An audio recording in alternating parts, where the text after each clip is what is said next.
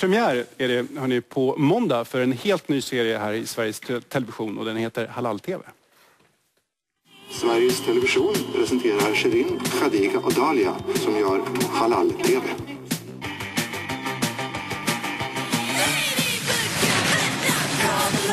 Det är vi som ska göra det här programmet. En jurist, en mammaledig tandsköterska och en läkarstudent. Det är vår tur nu. Det här är vårt program om Sverige. Ja, och här har vi alltså juristen och tandsköterskan Shirin Awad och Khadija El Kaviri. Eh, snart kommer vi ju lära känna er genom det här programmet. Men när ni träffar folk och presenterar er själva, hur brukar ni, vad brukar ni säga då? Ja, jag har precis tagit min examen nyligen i våras men eh, har fortsatt att studera. Jag eh, förverkligar en dröm nu, jag studerar språk. Så det är det jag gör just nu. Mm. Ehm, jag eh, har planer på att studera så att jag håller på att förbereda mig till det. Jag har sökt eh, några utbildningar så vi får se ifall jag har kommit in. Men du är färdigutbildad annars? så- är tandsköterska fast jag vill inte stanna där utan jag hade planer på att vidareutbilda mig. Så att, Ja. Eh, premiär på, på måndag för Halal-TV. Måste naturligtvis fråga hur det känns, bara såna här dag, några dagar innan. Eh, Spännande, lite nervöst men väldigt, väldigt roligt också. Likadant för dig. Mm. Mm. Eh, alltså varför heter det Halal-TV? Eh, ja, det är ett bra namn.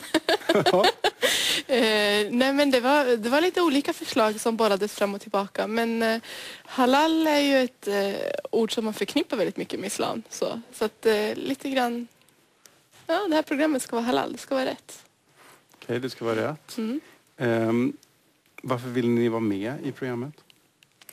Ehm, jag hade tidigare planer på att eh, bli programledare Mm. fast eh, de planerna la jag på hyllan för att jag tänkte att eh, jag vill inte gå någon utbildning och sen liksom inte kunna jobba med det jag har tänkt mig så ja. Men sen när jag fick annonsen om, om det här programmet då nappade jag på det direkt. Mm. För Sher- Sherin var det lite annorlunda, eller hur?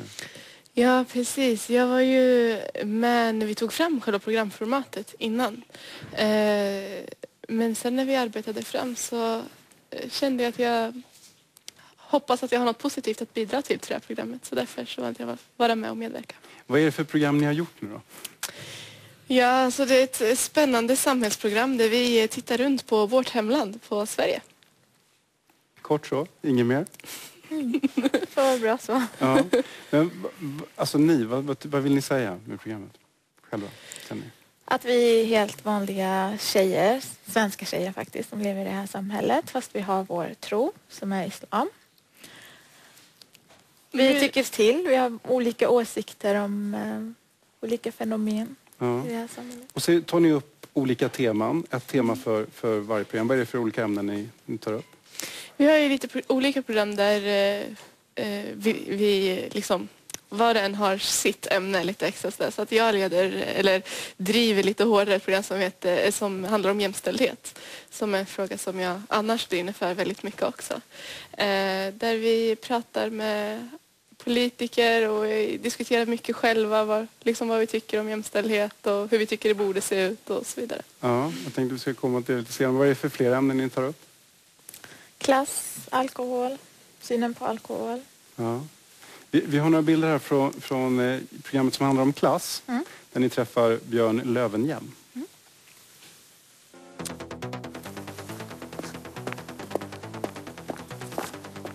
Hej, Hej, Dalia heter jag.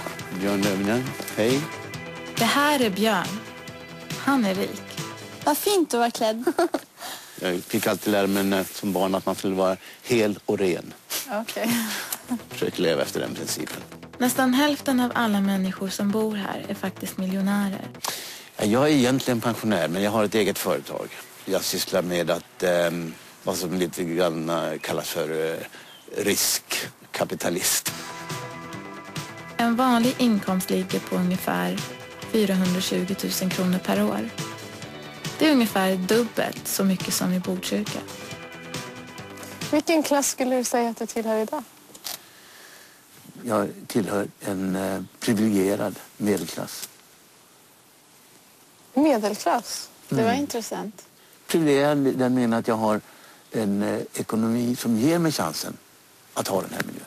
Men överklass i mina ögon, det är de som har beslutande rätt över ett stort antal människor. Det är vad jag kallar för överklass. Dahlia var ju med här också. Vad gör hon idag?